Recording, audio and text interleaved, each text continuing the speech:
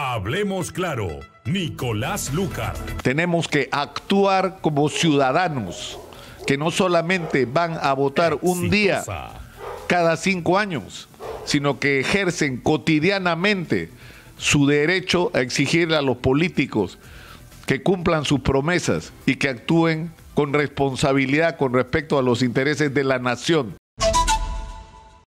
Hemos llegado al fin de la campaña electoral. Seré breve el día de hoy. Solo quiero reivindicar lo que hemos hecho aquí en Exitosa, que ha sido un esfuerzo extraordinario por permitir que el derecho de los ciudadanos a estar informados se cumpla, a que el derecho de quienes participen en un proceso electoral puedan tener los espacios para dirigirse a sus potenciales electores, para exponer sus planteamientos y para que a partir de esto sean los propios ciudadanos los que puedan tomar en base a esta información sus propias decisiones. Lo hemos hecho con consecuencia y en un clima lamentablemente de saturación y hasta de violencia contenida que yo lamento profundamente, porque creo que los peruanos no merecemos que las cosas se manejen así. Lo que queda, aunque debería notar que algo debemos haber hecho bien, porque en mi caso particular, cosas que he dicho críticas con respecto a uno u otro candidato han sido usados por los contendores como instrumentos para sus propias campañas. Pero en fin, lo que queda ahora para los ciudadanos son varias cosas que son simples, pero no por eso dejan de ser trascendentes. Mañana hay que ir a votar.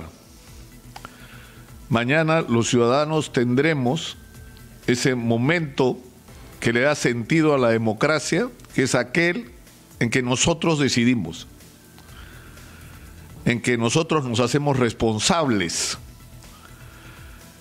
y que por lo tanto es un momento que tenemos que asumir con la responsabilidad que esto implica, sobre todo en el contexto que estamos viviendo. Hay que ir a votar. En segundo lugar, aquellos que simpaticen o se sientan involucrados con los participantes en este proceso electoral deberían inscribirse como personeros y ofrecerse como voluntarios para colaborar en todo aquello lo que sea necesario para vigilar la marcha del proceso electoral.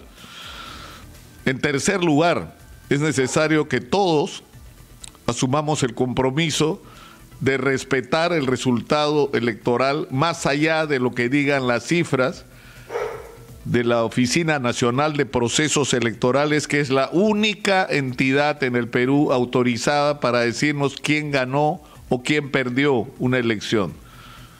No son las compañías encuestadoras, es la Oficina Nacional de Procesos Electorales la que debe dar el resultado y los ciudadanos que es cierto, hay que estar vigilantes, como siempre tendría que ocurrir, y habría que agregar que en esta circunstancia hay más de 20 representaciones que están cumpliendo la función de observadores internacionales para señalar con claridad si alguna irregularidad se produjera.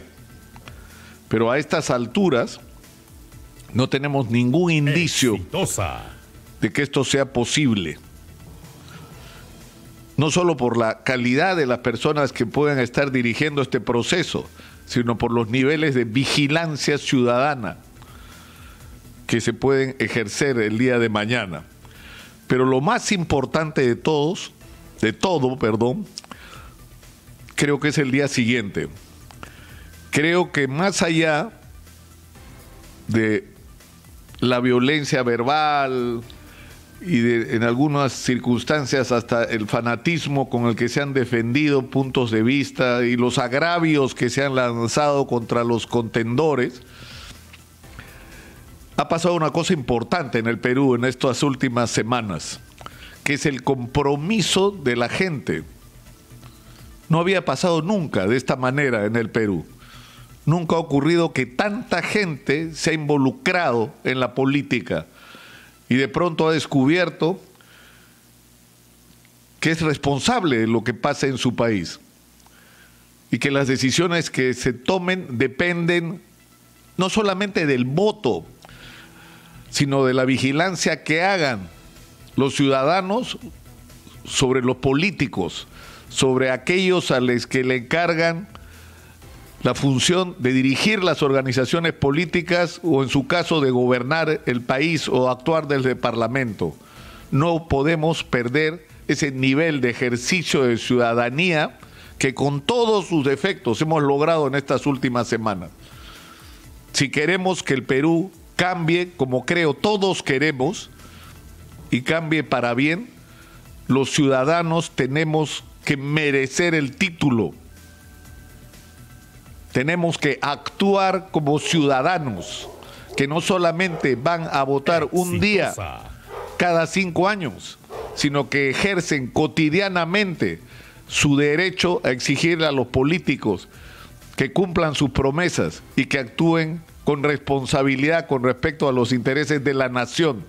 Eso depende también de nosotros, de que nos mantengamos activos, vivos como ciudadanos.